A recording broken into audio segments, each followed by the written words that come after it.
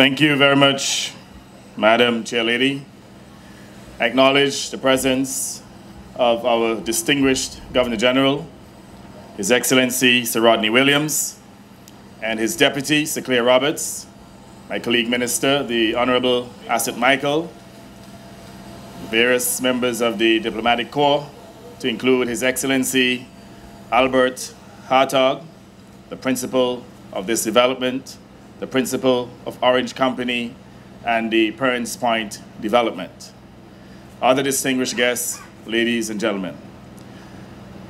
I am very, very pleased to be here this afternoon to celebrate the successes of Orange Company and the developers of Pearns Point during the last year. And I emphasize the last year because it is clear that there was a groundbreaking that took place here at least two years ago. And clearly, the project was slowed. But with the progressive destiny of the Antigua and Barbuda Labour Party government, things have now accelerated.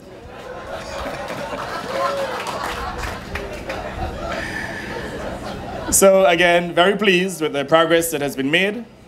I'm sure that you would agree with me that this is easily one of the best sites that you can find anywhere in the world. It is amazingly beautiful. And when you combine the physical attributes of this site along with the architecture, I can assure you that this project will become the epitome of elegance and of beauty. And I want to take this opportunity to signal the full support of my government to ensure that APUA and the other agencies of government work along with the directors of Orange Limited to ensure that the infrastructure is completed on a timely basis and to support the overall development of this project. This project will be transformational in scope. In fact, I'm told that there are several international celebrities who have already purchased real estate on this most beautiful piece of real estate, this most beautiful peninsula.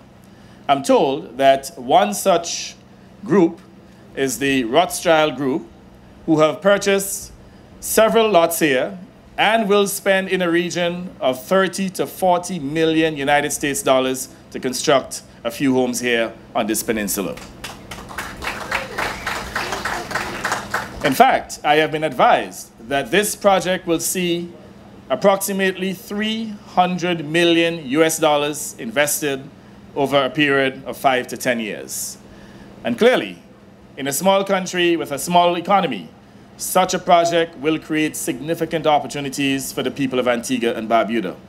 Certainly, a number of our contractors, many who have been unemployed for the last five to eight years, will now find work.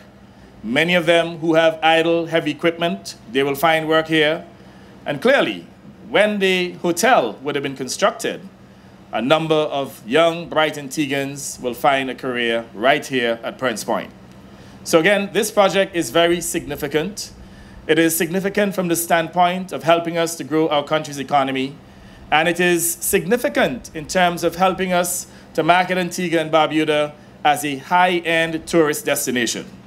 In fact, this product, or this hotel, and this overall development will help us to differentiate Antigua and Barbuda easily as one of the finest tourism destinations in the Caribbean and the world. So, so we welcome all of the partners. We welcome the Satai Group, evidently an international brand, a high-end brand, and one which will help to ensure that Antigua and Barbuda operates at the highest level on the world stage, one in which Antigua and Barbuda will be known for luxury brands, one in which we'll be able to attract more wealthy people to this country. And it's very important that we continue to attract wealthy individuals. The reality is we must continue to attract investments to this country in order to grow and develop. Let no one fool you.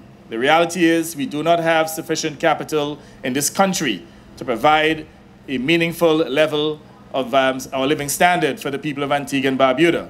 So clearly, if we're going to improve the living standards of our people, we must attract more investments. That is our gold, our oil, our diamond.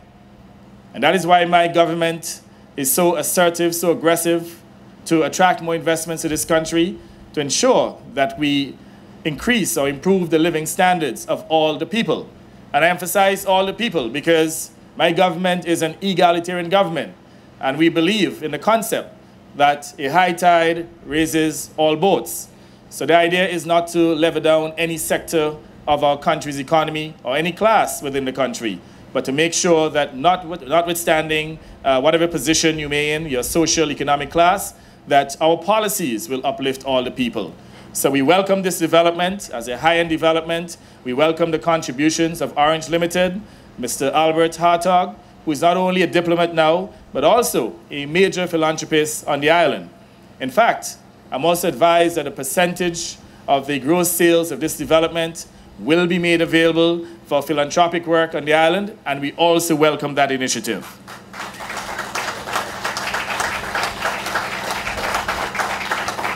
Now, the final issue, and perhaps the most important issue, is the issue of the environment. Clearly, this is one of the most pristine areas in the world, one of the most beautiful sites that you can find anywhere in the world.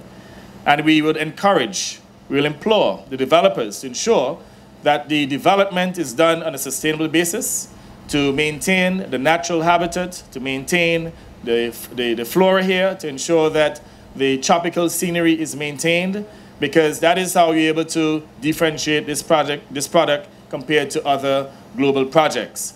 Uh, again, we believe in sustainable development to ensure that our development is done in tandem with the environment and to ensure that we protect the environment for future generations.